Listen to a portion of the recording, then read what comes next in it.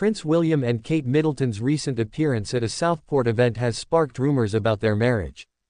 The couple met with families affected by a tragic knife attack, marking Kate's return to public duties after completing chemotherapy. While the event highlighted Kate's compassion, some social media users focused on their body language, speculating about possible tension. Comments suggested the couple appeared distant, with one user questioning, is there trouble in their marriage? Others fueled conspiracy theories, claiming Kate's appearance seemed altered, sparking discussions about a look-alike. Despite the speculation, the couple continues their royal duties.